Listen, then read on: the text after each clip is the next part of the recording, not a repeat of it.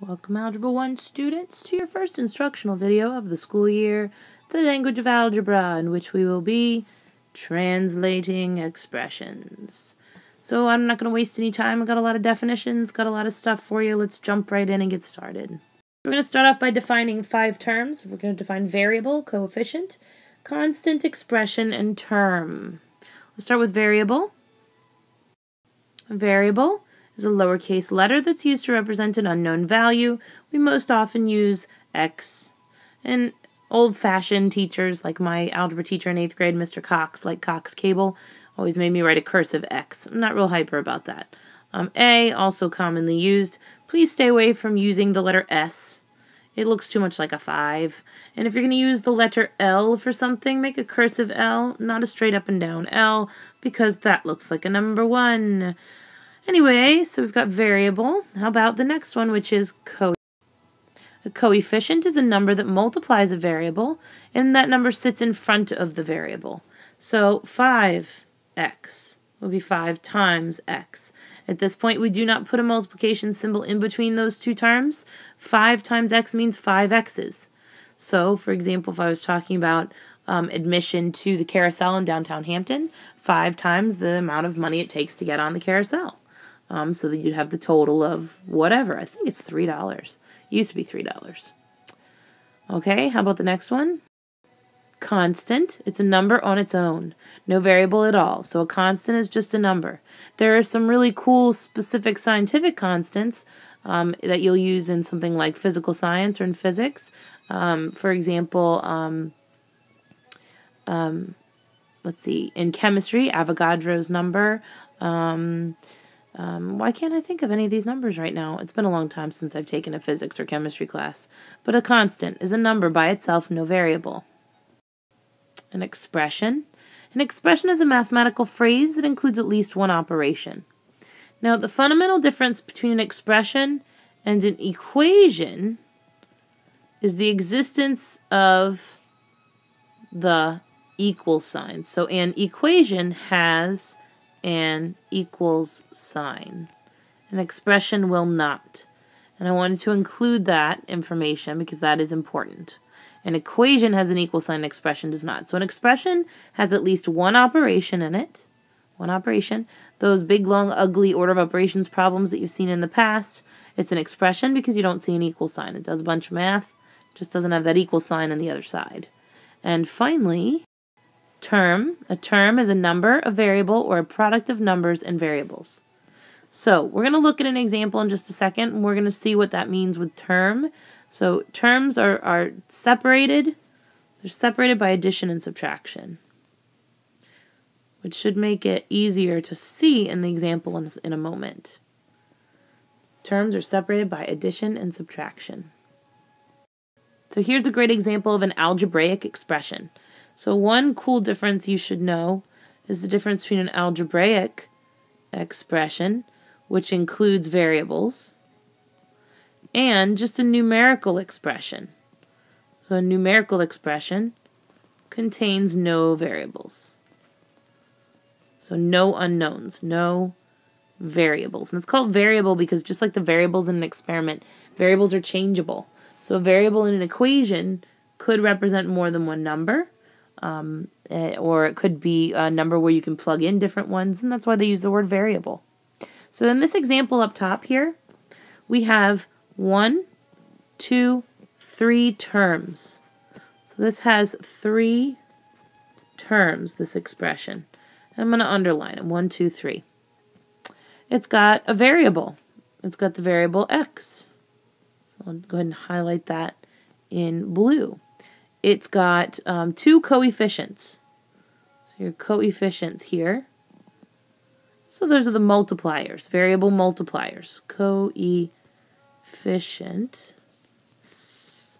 Get the blue, forgot the, forgot the word variable. Oh, I love color coding.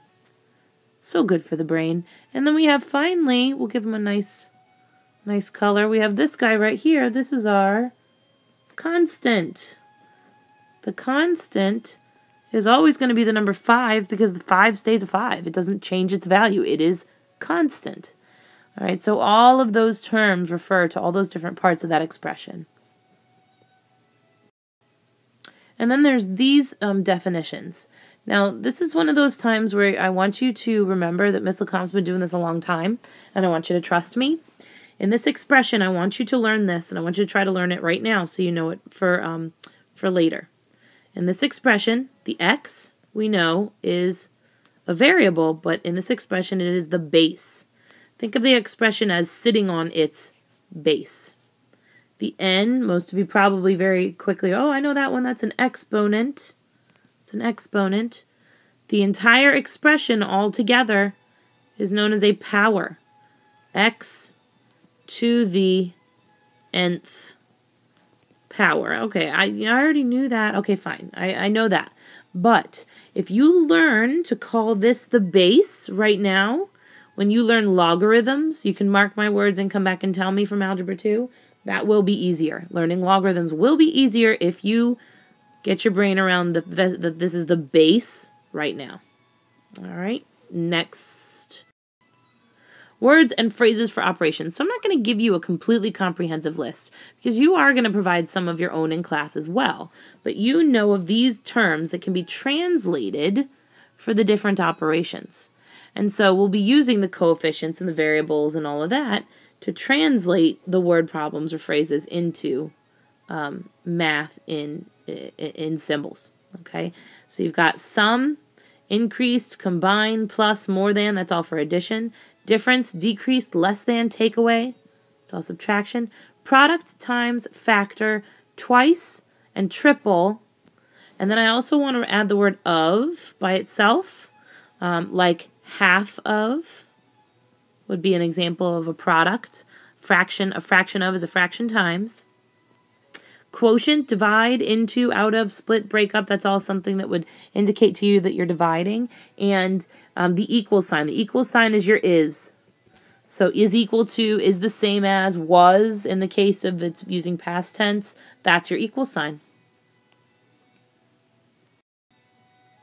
Let's do uh, five examples Let's do five examples. This nice blue color here, okay? Translate each verbal expression into an algebraic expression or equation. Okay? Three less than twice a number. Three less than something. Let's think about that just for a second outside of this. So don't just knee jerk and go three minus. Three less than. Three less than what? Okay, so pretend I have five, I don't know, um, kittens. Okay, I don't. I only have two. But um, pretend I have five. So and so has three less than me. Well, that's not a three minus. That's a minus three. So you got to figure out now what three less than what? What are we minusing three from? Three less than twice some number. And you pick your own variable. It doesn't matter which one you use as long as you do use the same one throughout uh, the same problem. Second one, twice the sum of a number and four. Okay, twice the sum so what are we multiplying by 2? Is it the number? The 4? No, we're multiplying a sum. So let's write the sum first. There's the sum of a number and 4. If I want to multiply that by 2, my 2 has to go on the outside. So it looks quite a bit different. Okay, we are just talking about this on the previous slide. One fourth of a number is one fourth times. One fourth of, well, let's see, let's use D. One fourth of a number is 12, so that's easy to translate, but a fraction of, excuse me, a fraction of is a fraction times. Notice no um, multiplication symbol there, we don't need it. The quotient of 8 in a number, less 4, is equal to 6 more than 1 half of the number. Uh, okay, let's try it again. The quotient of 8 in a number, so let's do that first. 8 and a number less 4. So it's not less than. Notice that it is less 4. That is in a, a, a, use of the word less that's telling us to subtract what it's saying less. Okay, I just, I'm sorry, I just got attacked by a kitten who has been trying to climb up my leg for about the past two minutes. She's crazy. Anyway, the quotient of, of 8 and a number less 4 is equal to, there's your equal sign, 6 more than. 6 more than that's 6 plus or plus 6. And the great thing about the commutative property is it doesn't matter if I do 6 plus or plus 6. So I'm going to write 6 plus 1 half of the number. So 1 half of, again, half of is half times. Ugly little equation. Good thing we're not solving it, um, but uh, not that hard to write. Last one, 20% of the original price. So this is going to revolutionize um, your um, you as you start to age and you start to like go out to eat on your own with your friends or um, trying to find uh, percentages if your parents tell you if you pay 20% i'll buy something new um, it's a great way to force you to do math. Um, the best way to find a percent of is to change that percent into a decimal. Well oh, I'll get the pen tool. There we go. Into a decimal and multiply. Let's call the original price p 20% of the original price. There it is right there okay and the kitten is now attacking my notebook so i'm going to go on to the next slide other types of expressions that we will deal with in algebra. We have square roots, we have cube roots, and we have absolute value bars. So let's look at each of those. So square roots, we know that if I take the square root of a number, like 100, it's saying what times itself equals 100. Well, that's 10.